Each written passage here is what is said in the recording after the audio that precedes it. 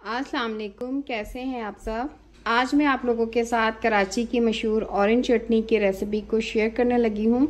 ये पकोड़े और समोसों के साथ बहुत ही मज़ेदार लगती है।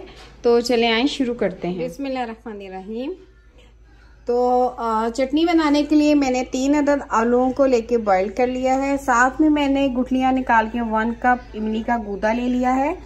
उसके साथ मैंने हाफ़ टी स्पून जो है नमक का ले लिया है। साथ में जो है वन फोर टीस्पून मैंने टाटरी का ले लिया है। साथ में मैंने वन टीस्पून कॉर्नफ्लोर ले लिया है। टू टीस्पून जो है मैदे के ले लिए हैं। और वन टीस्पून जो है मैंने शुगर का ले लिया है। दो पिंच मैंने ऑरेंज कलर को लेके पानी में भिगो दिया है, हल कर लिया है। साथ में मैं ले रही हूँ वन टीस्पून जो है चाइनीज़ सॉल्ट का, हाफ़ टी स्पून जो है काली मिर्च ले रही हूँ। वन टेबल स्पून कुटी लाल मिर्च और वन टेबल स्पून सूखा धनिया का ले रही हूँ and one and half teaspoon मैं जीरे का ले रही हूँ। अब हम क्या करेंगे, अपने तमाम इन मसालों को एक ग्राइंडर में डाल देंगे और इसको अच्छा सा ग्राइंड करके फाइन पेस्ट बना लेंगे और फिर मैं आपको आगे बताती हूँ कि हमें क्या करना है। को डाल लिया है। अब हम इसमें इमली को शामिल कर देते हैं। साथ ही हम इसमें चीनी शामिल कर देते हैं। साथ ही हम इसमें कॉर्नफ्लोर शामिल कर देते हैं।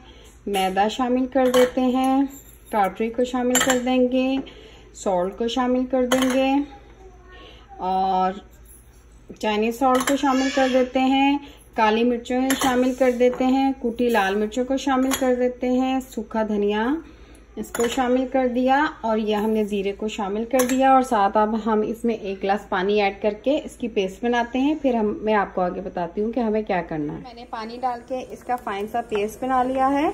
अब हम इसमें जो है अपना थोड़ा सा ऑरेंज कलर उसको शामिल कर देते हैं और इसको मैं एक उबाल आने तक अच्छा सा पका लूँगी।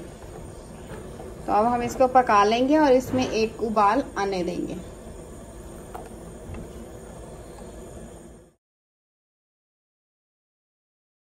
देखते हैं कि हमने इसको एक उबाल जो है लगवा लिया है और पाँच से सात मिनट तक अच्छी तरह पका लिया है। तो ये हमारी चटनी अब बिल्कुल बनके तैयार है।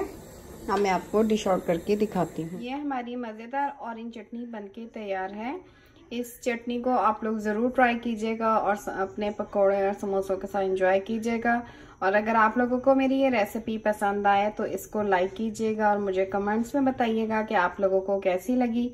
और मेरे चैनल को शेयर कीजिएगा, सब्सक्राइब कीजिएगा और मुझे अपनी दुआ में याद रखिएगा। अल्लाह हाफिज़।